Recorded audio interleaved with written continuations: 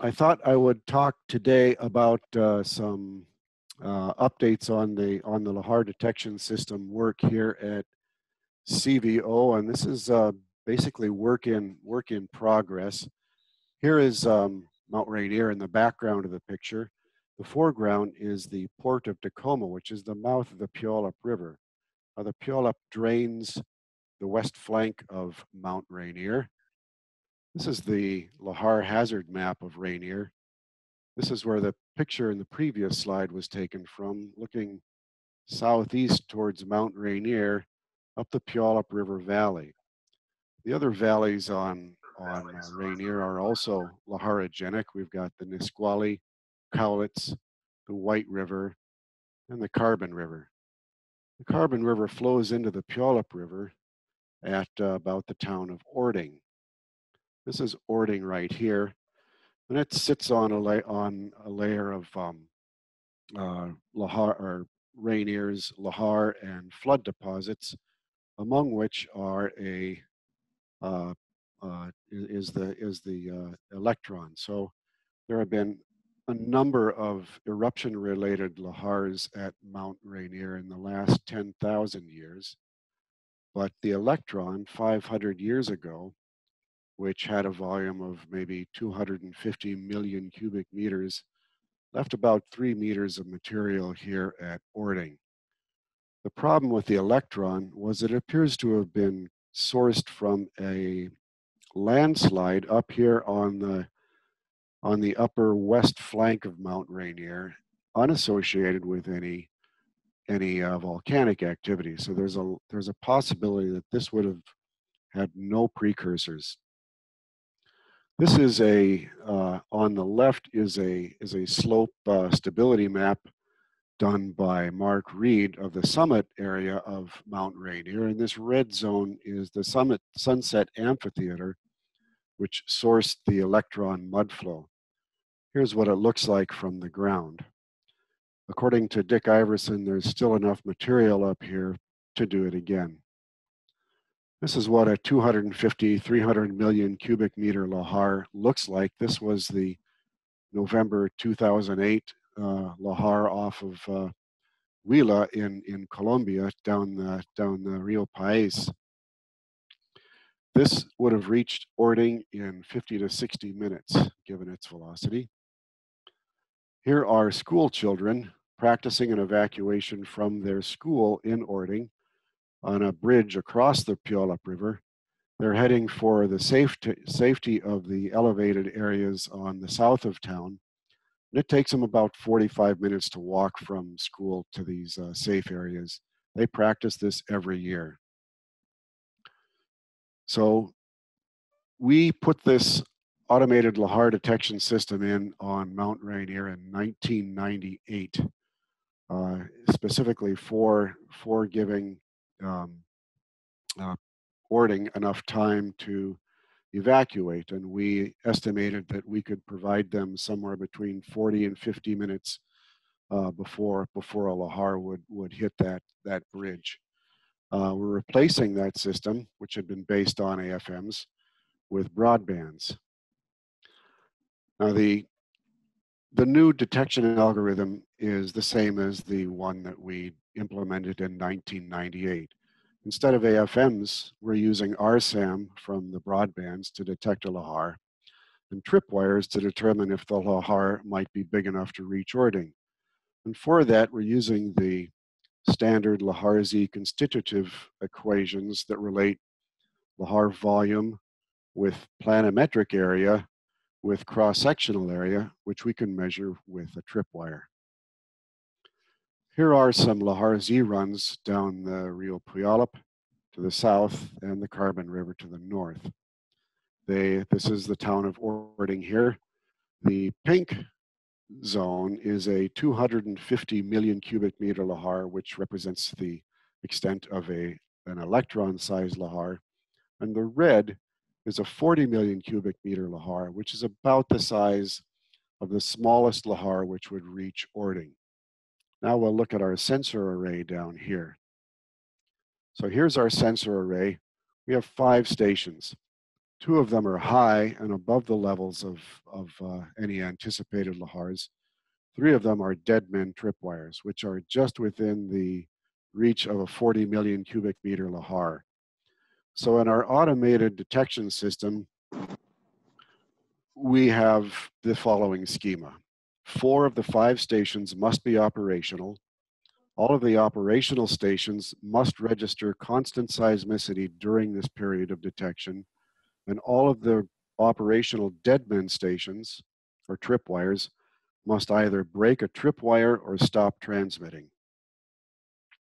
So this is our standard configuration. We have a box, we have a seismometer where we used to have an AFM, and we have a cable down here wrapped around a tree for our tripwire. And the tree is just below the level of a 40 million cubic meter lahar. This is a Puyallup River represented down here at the bottom of the valley. So replacing the system. Lahar detection now is a priority at CVO. This is, uh, uh, we're doing this with funding following a, a tragic landslide in the north of the state here several years ago. So CVO has a, has a, has a powerful team of seis seismologists and engineers working on this. We've got Wes Thelen, and Kate Allstadt, who are leading the scientific development along seismic and infrasonic lines. Rebecca Kramer, who's leading the field engineering effort. Ben Pauk, who's doing all the admin wrangling. And Chris Lockett, Lockett who's reading, leading the programming. Uh, you folks will remember Chris Lockett from, I think it was 2016 or 2018 when we were down there. Seth Moran and I are also involved. So this is Rebecca standing here. This is the station design that she, she produced for the, for the Lahar stations. And this is the network. Now there have been many people working on the network design, um, but Rebecca is, is heading up the effort. We've got Mount Rainier here. The existing stations from the uh, regional network are shown in yellow. There are a few of them. The proposed stations are in red. Those are mostly within Rainier National Park and require an extensive permitting process. And the blue stations are stations that have already been installed as part of the upgrade of the uh, Lahar detection system. These are our current tripwire stations. They are at the same locations basically as the tripwire stations from the 1998 system because that's as far upstream as we can get them and still uh, still have the system function. We have taken the higher stations and moved them further upstream so that they can perhaps get an earlier detection of the of the uh, of the lahar. So here's Chris Lockett. Many of you will recognize him. He's in charge of the lahar detection software design the uh, associated IT system design, and he's a competent field hand. This is uh, one of the screens from the OPC um, configuration software. A few of you will recognize this. This is the tool that uh, Chris is using to replace the 1998 software. It is similar to what, what you have at uh, Cotopaxi, the OP, OPC system that you have down there. Now he's also working on a simple and self-explanatory interface for the emergency managers at Pierce County in the state of Washington, as well as real-time messaging and an interface for a USGS duty officer. And once he's done with the uh, upgrade of the of the uh, of the uh, Lahar detection automated Lahar detection system, he's going to turn his efforts to working on a more generalized detection and Lahar packet or alarming package that will be based on based on earthworm and not OPC. So this is Wes Thelen down here. He's a seismologist. He's been working on, among other things, seismic amplitude source locations. Um, this is some work that he did from a uh, uh, locating a a small debris flow that we had at Rainier last year. One of the advantages of doing this work at Rainier is that there are a large number of uh, debris flows and, and small you melt events almost on an annual basis that can be used to help develop these techniques with the instrumentation that we have in, in installed and show us where we might need to improve the, uh, the, the, the, network or, or our techniques. So here, he's got a uh, uh, sort of an RSAM graph of one of the one of the nearby stations, and he's divided the hour-long flow up into five different phases, and then located events from each of those phases on the side of the volcano. So the star here indicates where the lahar actually occurred. These three little red triangles are the stations, and the uh, and the colored balloons are the are the locations from early to late within each phase. He's constrained these locations to lie along known stream valleys, and ideally you would like to see these traversing from high on the volcano to a lower to, to lower on the volcano, and you would like to see them to start where the where the actual lahar was. And you can see that he's been successful in in in limiting them to the quadrant of the volcano that we are interested in knowing where, where, where things are coming down. So, so it's successful in telling us that things are coming down the Puyallup Nisqually. But you could see that if there were more stations here, he'd be, he'd be getting a better uh, uh, uh, set of locations on these, on these ASL, uh, using this ASL technique, but it's pretty promising. With the same debris flow, he, he analyzed the infrasound taken from a three element array located down here. Um, this is where that, uh, that Lahar was, uh, was located. Um, and these are the back azimuths, where the back azimuths intersect streams of different, uh, different events within, within this uh, infrasound event. This is the iPensive display of the infrasound event. Uh, you can see the uh, you can see the lahar, the debris flow occurring in this part of the part of the uh, uh, part of the graphic. This is a 10 minute long uh, period, and so this is the the, the lahar is basically uh, best represented here. This is probably an aircraft. It doesn't have anything to do with the lahar. You can see the back azimuths come from 90 degrees back uh, back into, but you can see that it's a complicated problem. Um, with one array, you're not really able to get much of a fix on on this uh, uh, on this lahar, even though you can detect it. So there is clearly more work to be done here.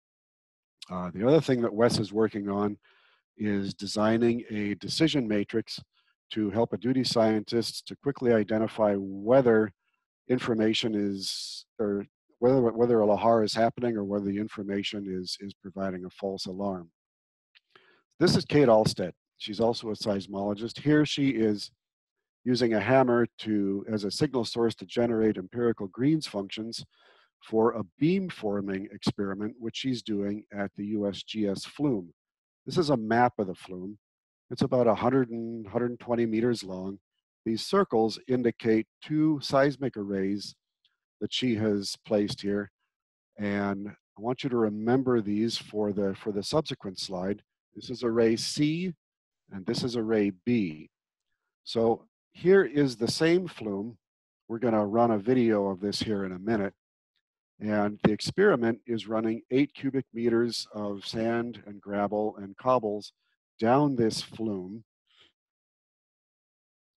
these are those two arrays. This is the C array, which is off to this side, and the B array, which is off to this side. Now, the C array is sensitive at a fairly high frequency level, the B array at a lower frequency level. In each of these graphs, the horizontal axis is time from zero out to 20 seconds, and the vertical axis is distance of the material down the flume. So here, I want to explain these lines. This heavy line is the flow front. This red line is the center of mass of the flow. The little green line is saltating material in front of the flow front, and these dots are where the beam forming um, algorithm places, places the event. Similarly here for, for the B array.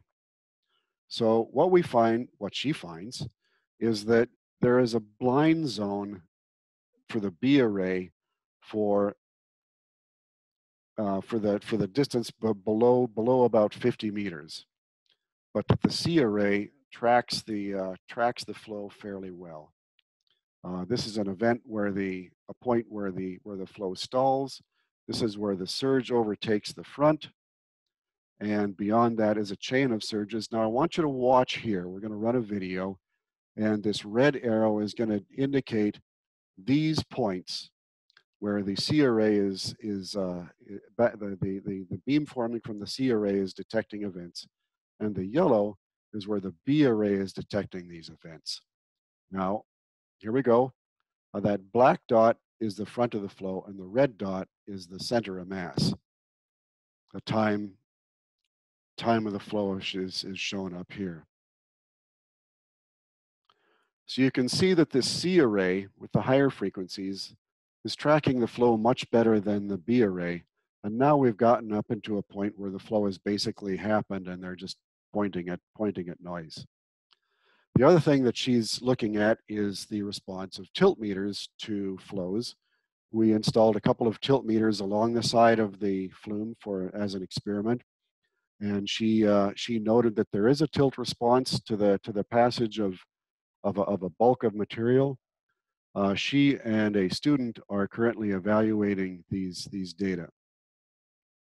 So this is Ben Pauk. He is in charge of making everything go. He's doing the permitting and admin uh, work, the budgeting, the field planning, logistics, helicopter management, and he's also a competent field hand. Here he is on snowshoes on the top of Mount St. Helens. The other thing that's going on here that isn't uh, isn't directly uh, associated with with the uh, uh with the with the Rainier project is the development of the DCLAW software by David George and Dick Iverson. Dick just retired from CVO.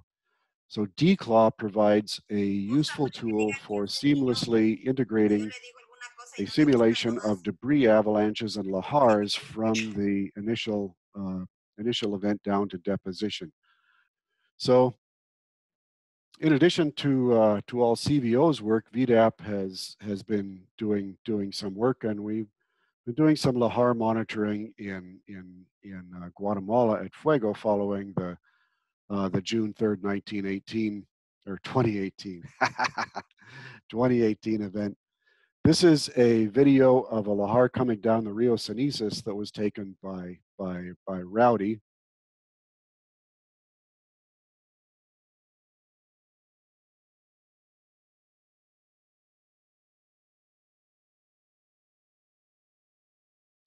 So I want you to notice this water pipe that has bro been broken here by the Lahar. Here it is. Uh, they are they're dredging it out uh, for the next Lahar.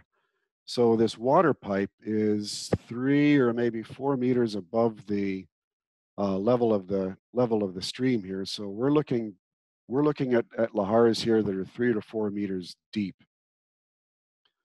One of the things that we that we found working at uh, at Fuego with these lahars is that the S grams give a really good uh, instant indicator that that a lahar is occurring, and without even pointing at it, you can see that there are three lahars represented in this day-long S gram. We're going to look at this lower one. This is what it looks like on on swarm. You can see the seismic uh, seismic signal associated with this lahar and the spectra that, uh, that Swarm shows. This is a webcam that we have located at this, at this site. This is a Rio Cenizas. It's raining hard, so it looks a little fuzzy. This is at uh, 1420 at about this point in the, in the seismic trace. 10 minutes later at 1430, you can see there's a lahar occupying the valley. The front of the lahar has already passed, and now we're at the point of uh, pretty close to the maximum uh, seismicity from this uh, from this flowage event. However, we have a six-element array array of uh, infrasound co-located with this, and it sees nothing.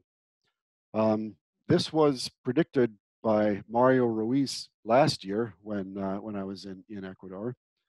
Um, so clearly, there is more work to be done Um, uh, Wes's work on Rainier is, is encouraging, but that is where we are today. Thank you very much.